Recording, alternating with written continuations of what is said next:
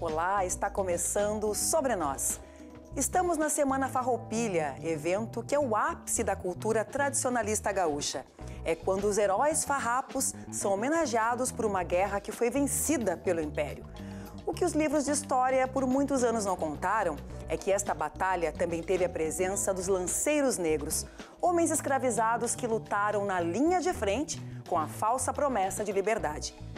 O que esse episódio tem a nos dizer sobre a formação do povo gaúcho e sobre a maneira como a população negra sulista é tratada até hoje? Este é o tema do Sobre Nós desta semana.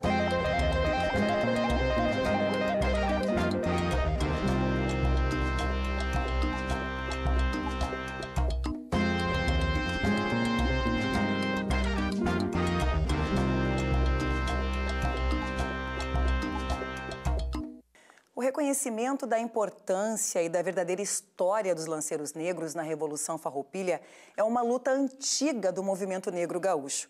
E em janeiro deste ano, a partir de um projeto de lei do senador Paulo Paim, esses soldados passaram a ter os nomes oficialmente inscritos no Livro dos Heróis e Heroínas da Pátria, que é um documento que preserva os nomes de pessoas que marcaram a história do Brasil.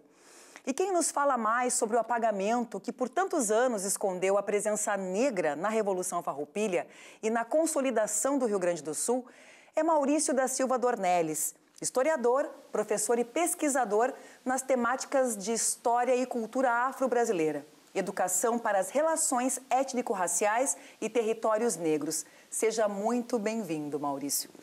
É, Maurício, eu começo te perguntando, né, qual é o contexto que o Rio Grande do Sul vivia naquele momento ali, pré-guerra dos farrapos, até a chegada dos lanceiros negros?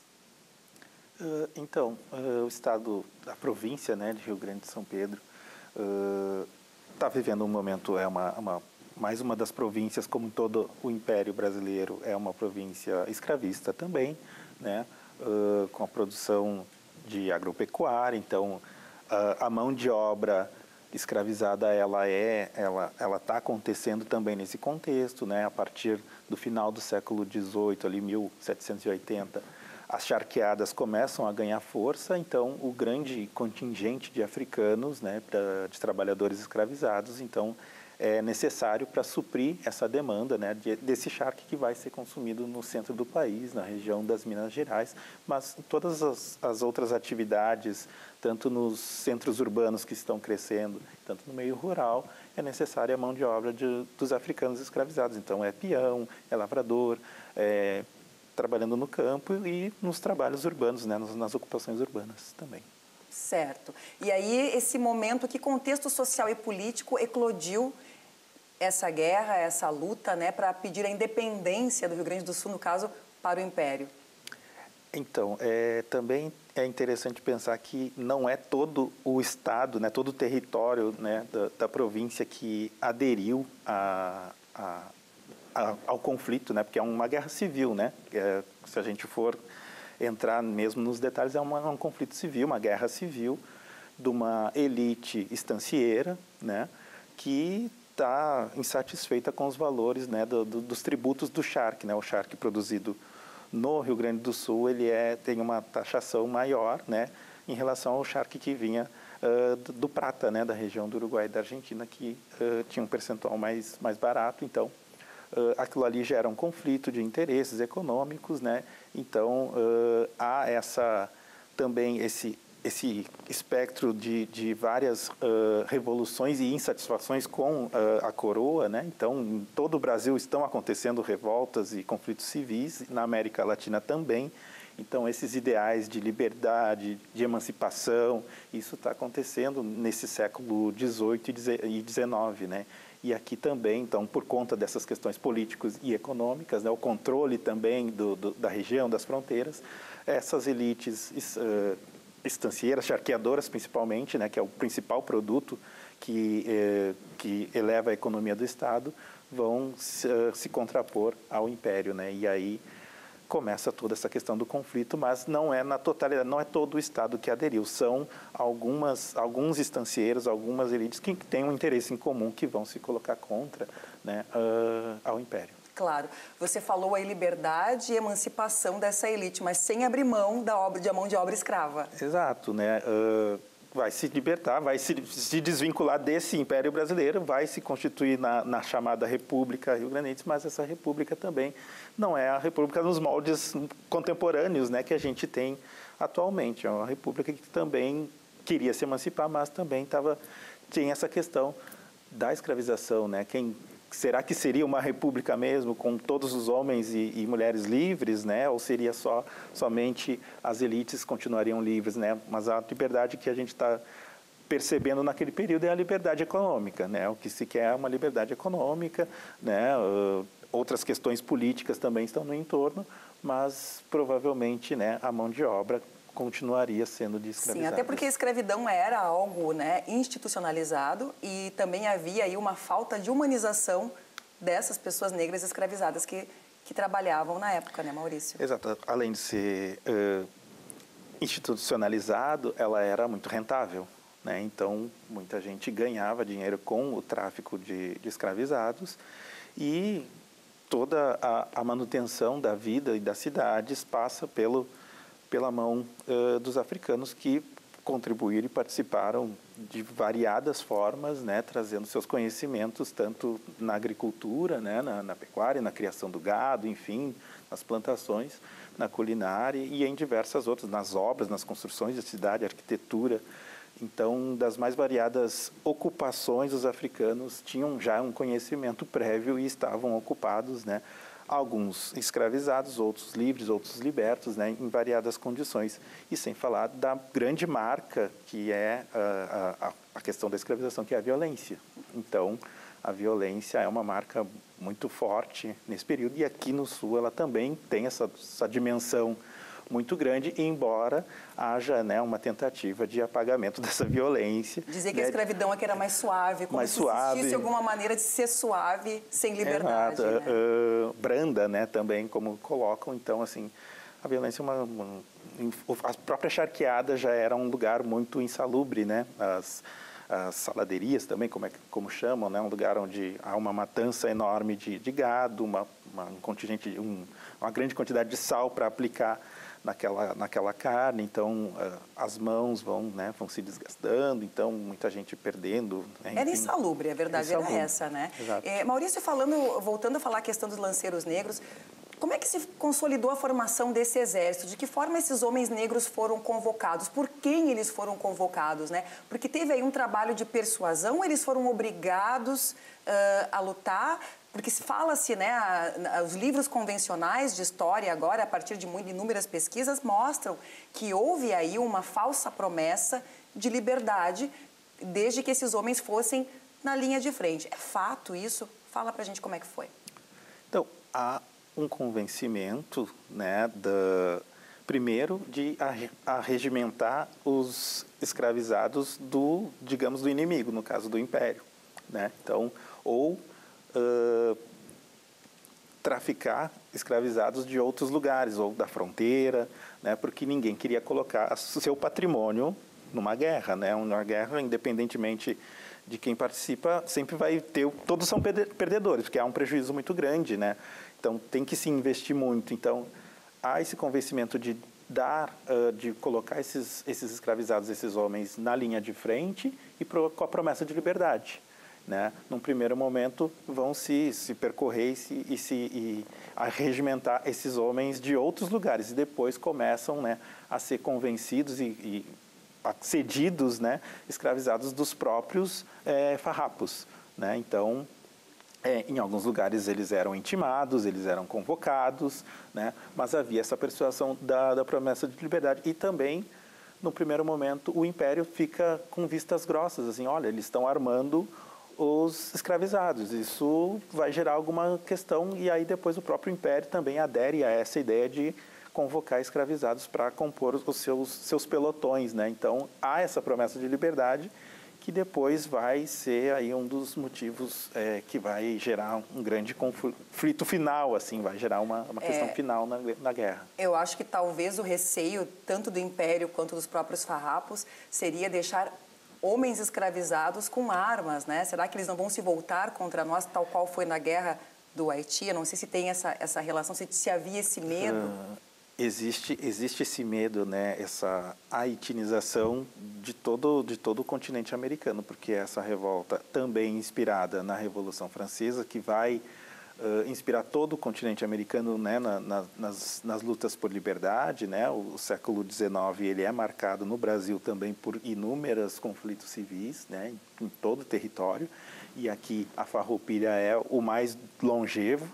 Né? Então, uh, armar uh, africanos, né, de alguma forma armar africanos, né, eles domarem cavalos, né, terem conhecimento do território, é de dar quase a arma para o inimigo. E tu libertar esse contingente e depois os outros que tu vai ter que manter enquanto escravizados, né? Tu liberta uns, mas você mantém outros. Isso aí vai, com certeza, vai gerar uma, uma, uma, uma revolta, até porque Uh, a ideia, a primeira ideia é que os escravizados não, não pensavam e tudo mais, mas a gente são pessoas, são seres humanos, eles sabem, até porque foi ofertado a eles, eles sabem, sabiam a condição que eles estavam, né, com essa privação de liberdade, então vamos lutar para nos libertar dessa condição, logo posteriormente essa liberdade não vai não vai ser concedida né vai ser o grande problema do conflito né? Certo. É, você acha que foi uma certa ingenuidade desses escravizados, desses lanceiros negros,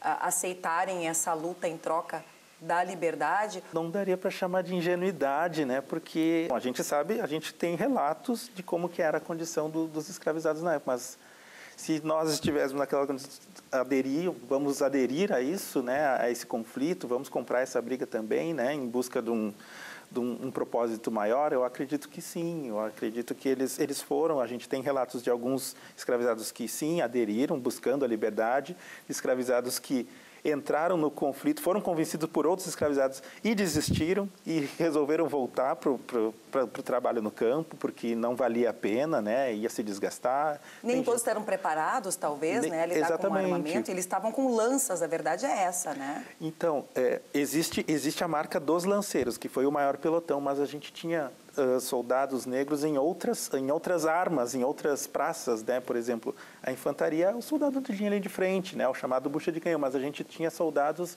uh, por exemplo, na cavalaria, que é uma arma mais nobre, digamos assim, que é o cara que vai andar a cavalo, que vai portar de repente um, uma, uma, espada ou enfim uma outra arma que não é só a lança. Então havia também esse temor porque daí tu já tem uma patente maior de soldado, né? Não de soldado, não de militar, né? Então é, são outros postos, né? Existe uma hierarquia ali dentro, então isso também vai gerar um, um, um desgaste interno dentro do próprio exército mas o pelotão de lanceiros era o maior contingente né, que a gente possuía. É, e com relação à traição, Maurício, vamos ser bem objetivos agora. Né? Houve de fato uma traição, é, os lanceiros negros, obviamente, uh, não tiveram a liberdade, muitos morreram durante o combate. É, existem documentos, inclusive do Canabarro, né? Uma, uma, carta que fala a respeito disso. Queria que tu contextualizasse rapidamente para a gente esse momento do ápice da traição, que foi o que marcou muito essa história dos lanceiros negros. Existe, existe esse documento, né? É um documento que ele é, ele começa a ser discutido uh, logo após o conflito, assim, já em 1850 já há uma discussão uh, dos próprios produtores, né, de conhecimentos, historiadores, cronistas, enfim, uh, ligados tanto aos farrapos quanto ao Império para discutir mesmo o que, que o conteúdo daquela carta, né? Mas há sim uma negociação de Canabarro com o Duque de Caxias, porque sim, uh, os escravizados dos farrapos receberam a promessa de liberdade. Logo, eles foram, então, construíram uma, um, um cenário para desarmar esses sujeitos e, claro, e onde foi realizado um massacre. Né? Então, não houve um, um embate, houve realmente um massacre, uma né? emboscada, digamos assim, essa é a palavra. É, uma, primeiro uma emboscada, mas um massacre, porque não houve, não houve um, um conflito direto, né? Então foi direto um massacre. Essas, esse contingente foi desarmado, foi levado para um outro espaço e lá eles foram, acabaram sendo uh, uh, dizimados, enfim, mortos, né? Alguns conseguiram fugir, Uh, mas outros não. Mas essa negociação ela houve, né? existem documentos oficiais que apontam isso, porque né, uh, você dá liberdade para um contingente aí de, de 200, 300 escravizados, pesaria muito, né? Uh, ficaria muito marcado para todo, todo o império, né? principalmente certo. os escravizados que estão nesse território. E esses que fugiram, ou os que sobreviveram né, a, a essa guerra, para onde foram? Identificar parte da, das, das, famílias de escravizados é, ainda é um, é um trabalho bem árduo, né? mas alguns conseguiram fugir para o Uruguai, né, onde já, uh, uh, já havia a liberdade né, para os ex-escravizados e alguns outros foram presos ou foram uh, entregues aos seus senhores e foram levados para a corte, né, para o Rio de Janeiro, onde lá tiveram uma vida muito variada, né, porque alguns ou foram trabalhar dentro do próprio exército, dentro, dentro das próprias instituições, uh, das unidades do exército imperial, mas não com postos de soldado, foram trabalhar em outras condições de manutenção, enfim, de, na cozinha, enfim, uma série de, de outras ocupações. Outros acabaram indo para os hospitais, né, porque estavam doentes e tudo mais, e ali a gente consegue identificar relatos desses, desses historiadores, desses certo. escravizados. Pois é, e o apagamento da presença negra na formação do Rio Grande do Sul resultou na exclusão desse povo também no tradicionalismo gaúcho. Isso levou um grupo de cidadãos negros a criar CTGs na região central e do Pampa. E quem nos conta um pouco dessa história é a pesquisadora Isadora Bispo dos Santos, que é mestre em patrimônio cultural e produziu o documentário Negro Sul, CTGs Negros, Espaços de Afirmação, Resistência ao Racismo e Patrimônio do Povo Negro. Vamos ver um trechinho. O CTG foi o seguinte, foi fundado por causa do, não deixava os negros nem olhar os, bailes do, dos brancos, do ICP, dizendo que era CTG também, era o CTG que tinha aí. Então não podia nem na janela esperar. Quando é, tinha bailes ou fandangos no Índio Cepé, que era o CTG da cidade, negro não podia participar. CTG, quando foi fundado, ele foi fundado por uma necessidade do homem negro, campeiro e rural ter um lugar para se divertir. Os negros participavam então, nas fazendas, como peões, em exposições de, de, de animais aqui na, na cidade, vinham para cuidar dos animais. E quando chegava a noite, porque nessa época os bailes de exposição eram riquíssimos, eram muito chiques. E aí quando chegava a hora de dançar, os negros não poderiam participar desses bailes, aí só iam os brancos. E aí eles tiveram a ideia de também, eles têm a noção de pertencimento ao território, que eles também teriam direito né, a ter acesso àqueles espaços, até porque a história do Rio Grande do Sul é marcada pelo o gaúcho mesmo, era o negro que estava lá no campo, né, que estava lá à frente da lida uh, campeira no dia a dia. Então, é, eles entenderam isso e aí se organizaram né? E engraçado que em, em, bem em épocas de ditadura, né, se organizaram coletivamente e construíram CTGs negros com uma percepção, né, uma cosmopercepção de matriz africana também, né, que é imbuído da diáspora. Eu sou negro, mas eu estou nessa terra, né, e eu tenho o direito de contar as minhas histórias a partir daqui do que eu estou construindo como afrodescendente, como negro sul, é o título da pesquisa, inclusive. O negro da fronteira, o gaúcho, né, que é, é, era visto como algo que não era bom, né, mas era ele que estruturava a história do Rio Grande do Sul. Quando a gente vai falar da história do Rio Grande do Sul, a gente perpassa obrigatoriamente pela população negra. Isso é importante, né? E nessa reconstrução histórica, né, e de tradições do imaginário, né, a população negra ela fica excluída. E isso é um processo de embranquecimento. Isso é um processo que a gente chama do pacto da branquitude, né? Que justamente é eu vou invisibilizar porque nesse momento agora eu quero contar só apenas minha história como a única que tem que ter relevância, né? Então eu, é, é esse processo que a gente tem que fazer esse, essa, essa crítica nas estruturas do Rio Grande do Sul, setembro, né, o, de, desde o 20 de, de, de, setembro, que é comemorado, né, e da gente questionar onde é que estão os negros e negras no Rio Grande do Sul. E eu falo com uma mulher que, com uma mulher que eu não sou do Rio Grande do Sul e ouvia de fora o que, que se falava do Rio Grande do Sul, o que, que mostra o que é exportado né, do, do Rio Grande do Sul. Não é a população negra, não é a população indígena. Então, a gente tem que fazer atos de reparação com essa população que edificou e alicerçou esse Estado. É muito interessante saber um pouco mais sobre a nossa história, como o documentário da Isadora. A criação de CTGs, assim como a de clubes, outros clubes negros, é uma forma que o nosso povo encontrou para se sentir inserido e pertencente na sociedade. Queria te ouvir um pouco sobre isso, Maurício.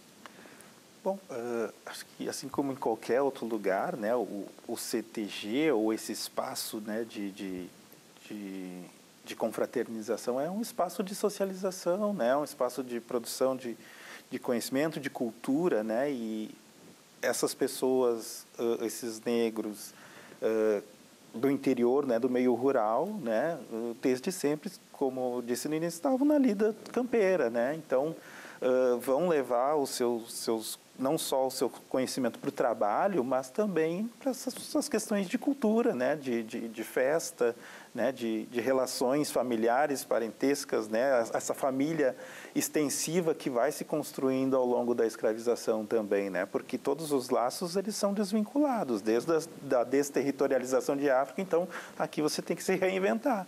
E a gente vai se reinventando com aquilo que a gente tem no nosso entorno. Então, é, muito do que a gente tem dessa cultura, da, do tradicionalismo, vem não só das culturas indígenas, mas também das culturas negras. Né? Então, uh, vocabulário, vestimenta, né? indumentária, uh, a culinária, né? então tudo está presente porque era o, o, cotidiano dessas pessoas, né? é o espaço de, de, de pertencimento então, o espaço da festa, da música, né, de, enfim, de, de espaço de fé, enfim, um espaço sagrado também.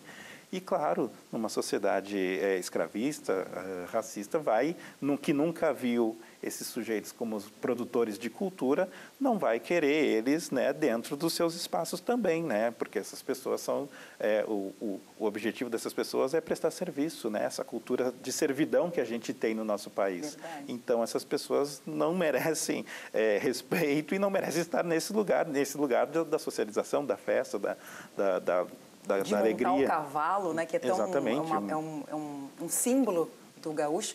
Nós estamos entrando na Semana Farroupilha, que é o ápice né, das, uhum. dos festejos aqui em Porto Alegre, em todo o estado. E a grande luta do movimento negro tradicionalista é trazer para o acampamento Farroupilha aqui em Porto Alegre uh, a cultura do negro gaúcho, do negro campeiro. Uhum. Nós temos né, o próprio piquete Lanceiros Negros e o Pelo Escuro, que é uma homenagem a Oliveira Silveira, recentemente lançado. E a gente espera, né, uhum. Maurício, que cada vez mais uh, o povo negro faça parte desses espaços. De, nós merecemos estar em todos os espaços, mas esse espaço que é tão caro para o gaúcho, e eu acho que o povo negro gaúcho também tem direito a usufruir dessa festa uhum. da mesma forma que todos os gaúchos. O que, que você diria assim, nessas palavras finais do programa? É, exatamente. É, é, estamos e sempre estivemos em todos os espaços, né? Embora a gente tenha uma cultura construída pelo MTG, né? Que é uma cultura, uma tradição inventada, né? Para uh, prevalecer determinados sujeitos, né? As elites instancieiras, políticas e econômicas, né? Os negros sempre estiveram, colaboraram, contribuíram de forma positiva, embora não lhes fosse dado os créditos, mas, como diz o, próprio Oliveira Silveira, né, entre os filhos desta terra, naturalmente sou um, né? Então, estivemos em todos esses espaços, estamos nesses outros espaços, temos essas iniciativas a muito custo, né? Porque também sei que é muito custoso, certo. né, estar lá, mas estamos participando também ao nosso modo. Tá bom, Maurício, muito obrigada. O programa está acabando. Muito obrigada pela tua presença aqui e todos que puderam nos acompanhar. E a gente encerra o programa com a música Manifesto Porongos, rap do grupo Rafuage, que denuncia o massacre de escravos durante a Revolução Farroupilha. E, e, e no livro não tá. É um traje, a imagem, isso agora tem que mudar. Heróis de graça não estão na praça, nós viemos destacar. Respeito é pra quem tem e não iremos nos calar. Ha! Povo que não tem virtude acaba por escravizar. Povo que não tem virtude acaba por escravizar. Povo que não tem virtude acaba por escravizar. Vim avisar, viemos cobrar. Uh! Povo que não tem virtude acaba por escravizar. Povo que não tem virtude acaba por escravizar. Povo que não tem virtude acaba por escravizar. Sem avisar, viemos comprar. Uh. Uma história opressora que não fala a verdade.